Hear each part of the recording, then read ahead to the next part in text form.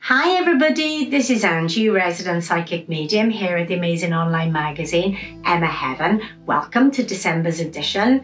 Now, this is my favourite time of the year. You hear me say it every single December on the magazine, but it is always such a magical month.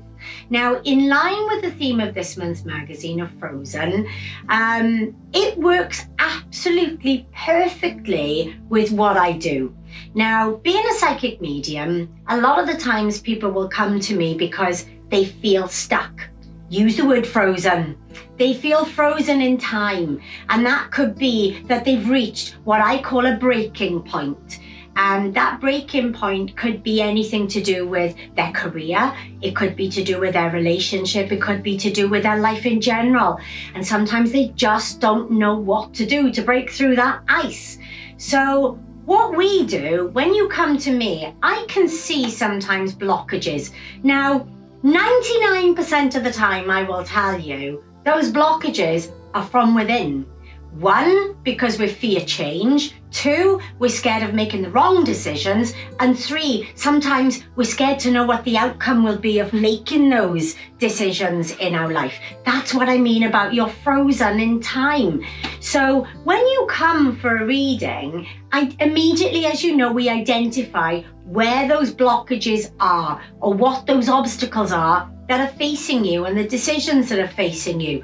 So, what we will do is we will show you by making those decisions what you can expect to come into your life from making those decisions.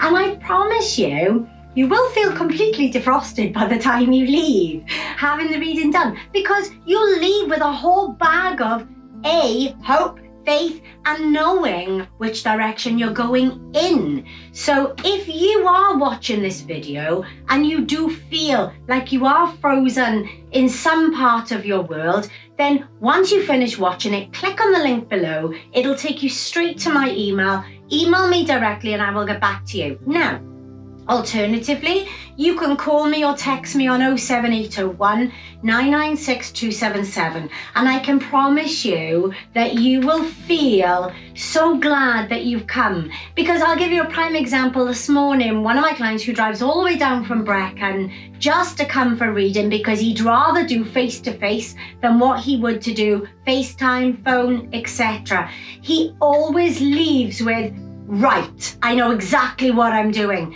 That's how you can leave after having a reading with me. And I promise you that when it all unfolds, you'll be whistling a completely different tune. And so I look forward to seeing you all. But if I don't see you or speak to any of you beforehand, have the most amazing Christmas. Happy New Year to you all. And I'll see you all in January.